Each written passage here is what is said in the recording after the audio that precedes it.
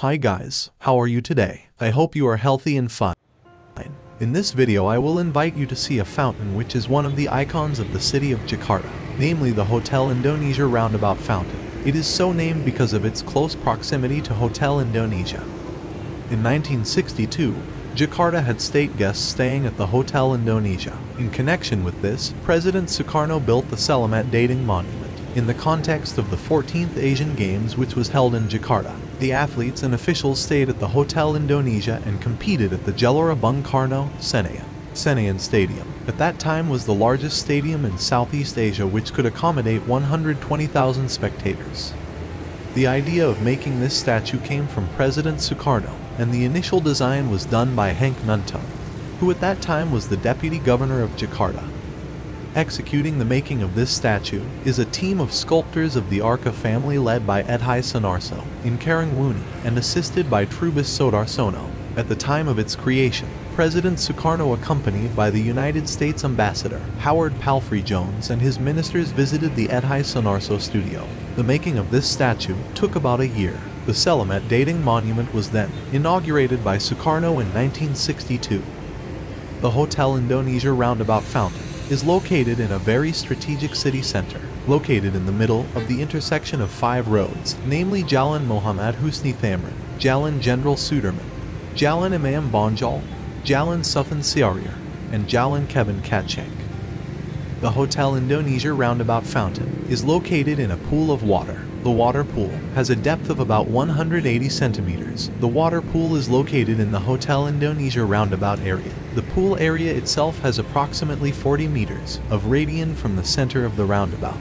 Meanwhile, the entire Hotel Indonesia roundabout has a diameter of approximately 100 meters, so that the total area is around 31,400 square meters or the equivalent of 3.14 hectares. In the middle of the pond stands a welcome monument. This monument is in the form of a statue of a pair of humans holding flowers and waving their hands. The statue faces north which means they welcome people coming from the direction of the national monument.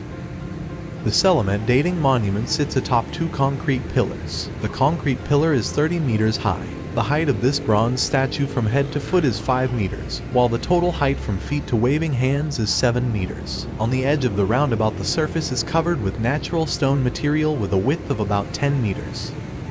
The Hotel Indonesia Roundabout Fountain is decorated with five formations of fountains which are symbols of the Republic of Indonesia ideology, namely PANCASILA, and at the same time it is also a symbol of a sign of greeting all residents and guests who visit the capital city of Jakarta as the capital city of Indonesia and metropolis, in the form of a statue of a pair of humans holding flowers and waving their hands as if to say welcome, good morning, good afternoon, and good evening.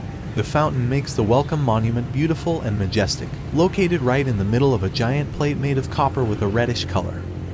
The maintenance of the Hotel Indonesia Roundabout Fountain is carried out by the DKI Jakarta City Parks and Forest Service Officer. The maintenance is carried out regularly by cleaning the moss on the pipes, nozzles, and lights, as well as checking the water pump to keep the fountain pool clean and beautiful. In 2009, the fountain pool was drained by the DKI Jakarta Parks and Cemetery Service. Officers began to work to clean the moss attached to the walls of the pool pumps, spotlights, nozzles, and pipes. Such a massive drain should be done once a year, so by opening the drainage hole, then the water will be wasted into a dam and flow into the river. Until the pool is completely empty it takes about 6 days. In addition to doing physical cleaning, don't forget to clean the bottom of the pool. There are so many found at the bottom of the pool, such as plastic waste, goldfish, two cell phones.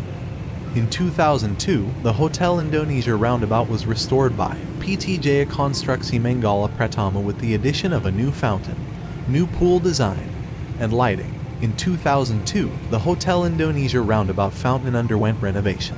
The goal is to further strengthen its appearance as one of the icons of the city of Jakarta. The result of the renovation is that the Hotel Indonesia roundabout fountain is now more beautiful seen from above and even more beautiful at night with colored lights from the pool. In 2018, the DKI Jakarta provincial government continued to improve the open space of the city of Jakarta in order to welcome the 2018 Asian Games. One of them is to beautify the icon of the capital city, namely the Hotel Indonesia Roundabout Fountain. With no small amount of money, the DKI Jakarta provincial government has revitalized the Hotel Indonesia roundabout and will utilize funds from large companies around the Hotel Indonesia roundabout. In addition to beautifying the city, this fountain is often visited during holidays. Every Sunday morning, when the Jakarta Car Free Day is held, the roundabout is filled with people doing sports, cycling, and street vendors. Okay, I hope this show is useful for you, and don't forget to subscribe to this video and leave a comment. Thank you.